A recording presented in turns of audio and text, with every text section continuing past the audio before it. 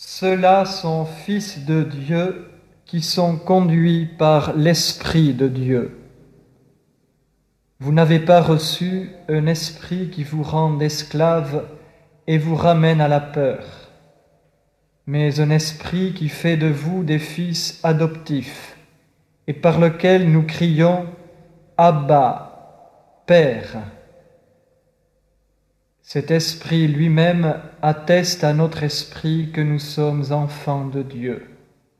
Enfants et donc héritiers, héritiers de Dieu, cohéritiers de Christ, puisque, ayant part à ses souffrances, nous aurons part aussi à sa gloire.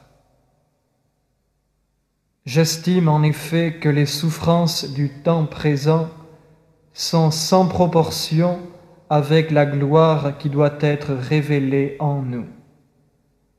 Car la création attend avec impatience la révélation des fils de Dieu.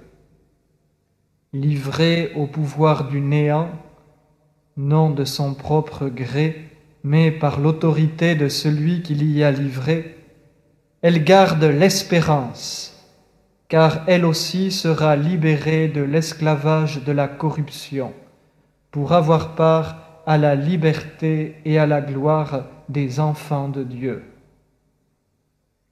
Nous le savons en effet, la création tout entière gémit maintenant encore dans les douleurs de l'enfantement. Elle n'est pas la seule. Nous aussi, qui possédons les prémices de l'Esprit, nous gémissons intérieurement, attendant l'adoption la délivrance pour notre corps. Car nous avons été sauvés, mais c'est en espérant.